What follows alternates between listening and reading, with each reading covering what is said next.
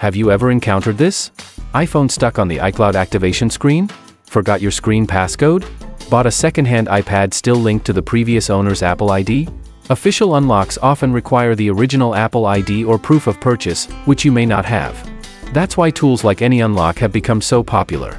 It promises to unlock various types of iOS locks with just a few clicks. But it requires a paid purchase, here I will analyze the methods and necessity of using the cracked AnyUnlock for free. All screen recordings in this video are captured using FocuSee.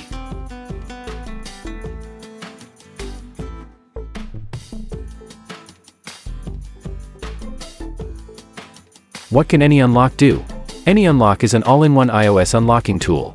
It helps you remove screen passcodes, bypass iCloud activation lock, unlock Apple ID without a password, skip MDM profiles, remove screen time passcodes and so on.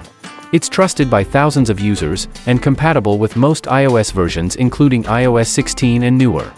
What is Cracked AnyUnlock? Many users will try to search for AnyUnlock crack, and you may find some websites offering a free cracked version of AnyUnlock, but we found that most cracked downloads simply do not work.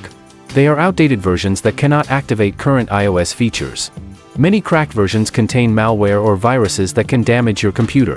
And most activation codes are fake. To avoid wasting time and risking data security, we strongly recommend that you use the official version of iMobie.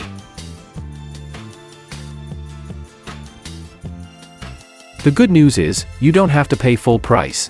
You can download AnyUnlock for free and test its many features, or buy only the modules you need.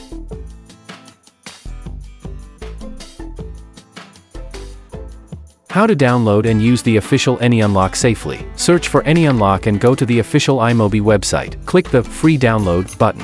If you want to bypass iCloud Activation Lock, select Bypass iCloud Activation Lock. Follow the instructions to jailbreak your device. The activation lock will be bypassed in minutes. If you want to remove Screen Lock, select Unlock Screen Passcode.